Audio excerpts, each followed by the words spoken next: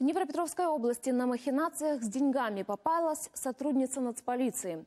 Заработать она успела немало, пока ее не задержали на горячем. Обо всем подробнее расскажет Елена Миндалюк. 700 тысяч гривен. Именно столько присвоила за три года кассир одного из управлений полиции Кривого Рога. В ее распоряжение поступали деньги, изъятые в рамках расследования уголовных дел в Вещдоке. Женщина документировала поступившие суммы и передавала деньги в банк на хранение. Но, как выяснилось, далеко не все доходило до финучреждения. В семи конкретных случаях сдавались эти денежные средства, и э, как бы до банка они не дошли. Разные суммы, там э, 280 тысяч, там 50 тысяч гривен. И подошел срок по первым изъятым денежным средствам, которые по решению суда должно быть дальнейшее движение этих денежных средств.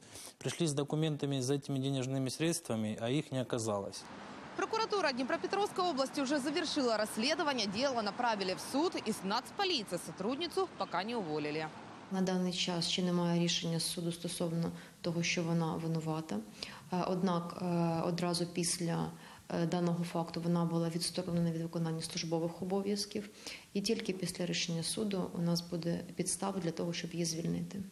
Сотруднице полиции грозит наказание до 12 лет тюрьмы. Пока же она под домашним арестом. Елена Медрюк, Евгений Конецов. Подробности телеканал Интер. Днепр.